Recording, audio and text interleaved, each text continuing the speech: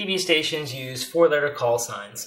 If no letter can be repeated in the four-letter call sign, how many different call signs are possible?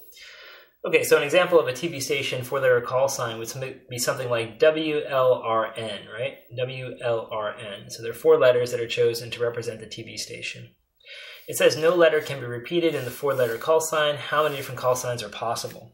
So keywords here is how many, right? Again, how many different call signs are possible.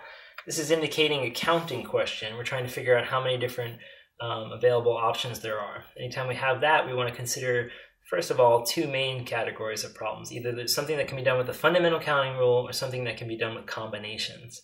So let's eliminate combinations as an option here. If I have a TV station's four-letter call sign, let's say I chose WLRN as my call sign, or even let's say ABCD. That's a simple call sign for a TV station, ABCD. Um, would it be the same station if I called it DBAC?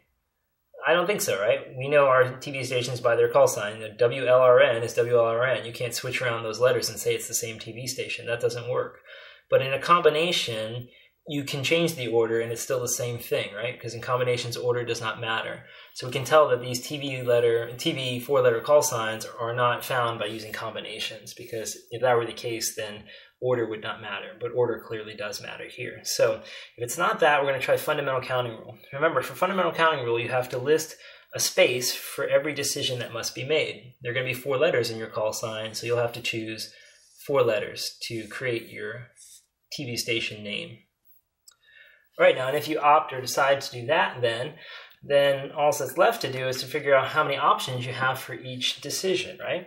Well, when you first come along and you try to form your name of your TV station or the call sign for your TV station, you will have 26 letters to choose from for the first letter, because there are 26 letters in the alphabet. But after that, once you've chosen a letter, let's say you choose the letter D, right? If you choose the letter D, then you no longer have 26 choices for the next one because it says no letter can be repeated. So that means you will only have 25 choices for the next letter. And then the next letter after that, you will only have 24 choices because you would have used two choices here, leaving only 24 remaining letters in the alphabet. And then finally, for the last letter, you will only have 23 choices. And then at that moment, you stop. Okay, so let's do the calculation here to see what the answer is then. It'll be 26 times 25 times 24 times 23. And when you're finished, you get this rather large, large number of options it's 358,800 different unique TV station four letter call signs.